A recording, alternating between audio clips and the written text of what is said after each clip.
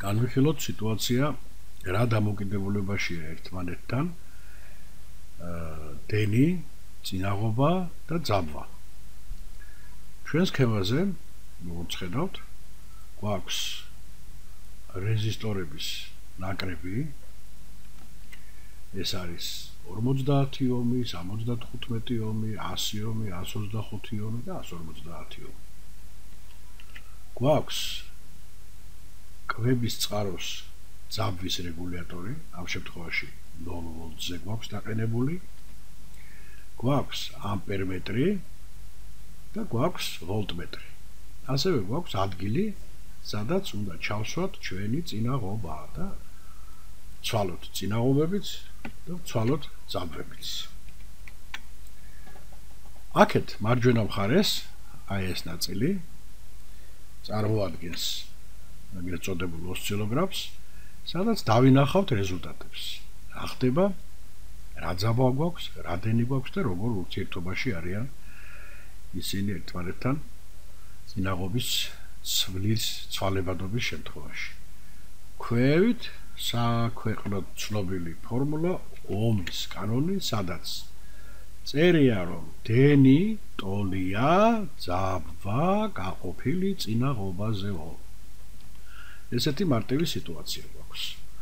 წინასწარ მინდა გამოვაცხადო ასეთი რამ, რომ რაც მეტია ძაბვა, მით მეტია დენი. რაც ნაკლებია წინაღობა, მით მეტია დენი. რაც ნაკლებია ძაბვა, მით ნაკლებია დენი, რაც მეტია წინაღობა, მით ნაკლებია დენი.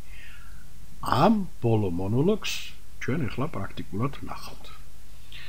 პირველ რიგში ავიღოთ და ჩავსვათ ჩვენ სქემაში 50 ომიანი წინაღობა. როგორც ხედავთ, ვინაიდან ძაბვა არის 0 სტოლი.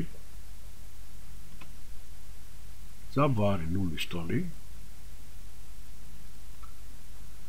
აი ბატონო 0 ვოლტი შესაბამისად დენი წრედში არის 0 სტოლი ვოლტმეტრიც გიჩვენებს რომ ძაბვა არის 0 სტოლი ოსცილოგრამზეც არაფერი არ გვაქვს საკმარისია ძაბვას დაუწყოთ მომატება დაუშვათ სამ ნახევარი ვოლტი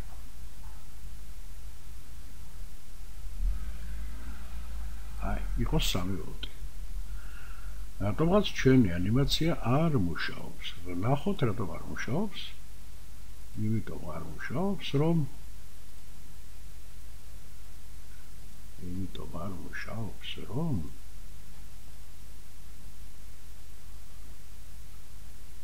აჰა. რაითო. აა აა გვაქვს ისე იგი ძაბო გვაქვს 3 ვოლტი. რამდენმა ამპერმა გაიარა წრეში გვეუბნებიან 60 მილიამპერმა 50 ომის შემთხვევაში. ზამვა გვიჩვენებს რომ 3 ვოლტი გვაქვს. ოსცილოგრამზე ხედავთ რომ აი ამ მონაკვეთზე იზომება აა ზაბვა არა ხო ამ მონაკვეთზე იზომება ზამვა ამ მონაკვეთზე უკაცრავად ღერძზე იზომება დენი. გვიწერია ამპერი, აქ გვიწერია რომ ვოლტი. მოდით ცადოთ ესეთი რამ.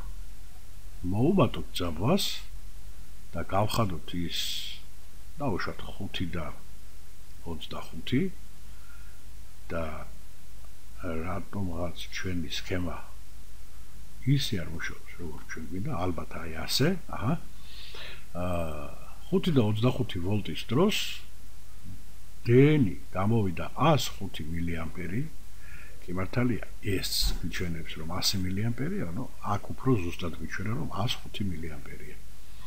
ძაბა როგორც ნახეთ აქაც იგივეა. და ოსცილოგრამზეც დავინახეთ რომ მართლაც არის 105 მილიამპერი. ეხლა ვიქცეთ ასეთნაირად. მოდით ეს 5 და 25-ის ზუსტად დავაყენოთ 5 ვოლტი 5 ვოლტი. 5 ვოლტის შემთხვევაში დენი უკვე 100 მილიამპერია და უბრალოდ შევცვალოთ წინაღობა 50 ომის მაგივრად ოდიში. 50 ომის მაგივრად ჩავსვათ 75 ომი. აი ბატონო გამოვიდა ესე იგი რა გავაკეთეთ გავაკეთეთ ის რომ გავზარდეთ წინაღობა წინაღობის გაზრდამ გამოიწვია დენის ცვლილება და გამოგვივიდა 66 67 მილიამპერი დენი. ამ ჩვენ ოსცილოგრაფზე უცნაური რაღაცები ხდება და ხდება ეს უცნაურობა იმიტომ რომ აი ამ მომენტში ჩვენ ამოვიღეთ არსებული წინაღობა და ჩავაყენეთ სხვა. ამიტომაც გვაქვს ასეთი და აი ახლა ეს ბოლო წერტილი, აი აქ მოდით მე გავზრდი აი აქ, აი ამ წერტილში. ეხლა ვიგიჩვენებთ. აი ამ წერტილში. აი ამ წერტილში გვაქვს 75 უკაცრავად 70 მილიამპერი. 67, 67 მილიამპერი. ეს წარწერა არ არის თლად კორექტული, ხო? 67, 66 და 60 და 67 მიასები მილიამპერი. აა მოდით შევცვალოთ ეს სინაღობა და 75-ის მაგივრად დავუყენოთ 100. 100 ომ. რა მივიღეთ? მივიღეთ ის რომ დენი გაიზარდა და გახდა ეს აუკაცრავ დენი შემცირდა, იმიტომ რომ წინაღობა გავზარდეთ. დენი შემცირდა, გახდა ის 50 მილიამპერი. აა, იმიტომ რომ გავზარდეთ წინაღობა. თუ წინაღობას 100-ის მაგერად დავაყენებდით 200 მილიამპერს კიდე უფრო შემცირდებოდა დენი და გახდებოდა 25 მილიამპერი. მე არ ვიცი ეს სქემა რატომ მუშაობს ასე არაკო არაკორექტულად. მაგრამ შევეცადოთ გავასწოროთ. მოდი აი ესეთ გამოვაკეთოთ პატრონებო. იქნებ აჰა. არ იყოს სწორად დაყენებული ჩვენი მილიამპერი. ეხლა გვეუბნება რომ 25 მილიამპერია და აქაც გვიწერს რომ 25 მილიამპერია. დავწუნდით იმაში რომ დენი დამოკიდებულია ძაბვასა და წინაღობაზე. მაშინ დავწუნდით. დავწუნდით იმაში რომ რაც მეტია ძაბვა, მით მეტია დენი. ნახოთ, ნახოთ. 5 ვოლტის მაგივრად გავაკეთოთ დავუშვათ 10 ვოლტი. გაახდა 50 მილიამპერი.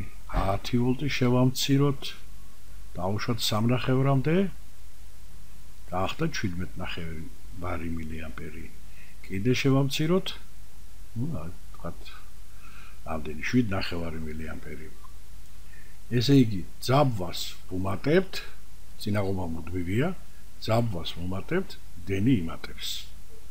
ძაბვას უკლებთ დენი იკლებს. ეხლა წინაღობასთან დაკავშირებით მოდით აქ დავაყენოთ. აა დაუშვათ 5 ვოლტი ისე რაღაც მსგავსი 4 და 75 დავაყენოთ 5 ვოლტი. დავაყენოთ 5 ვოლტი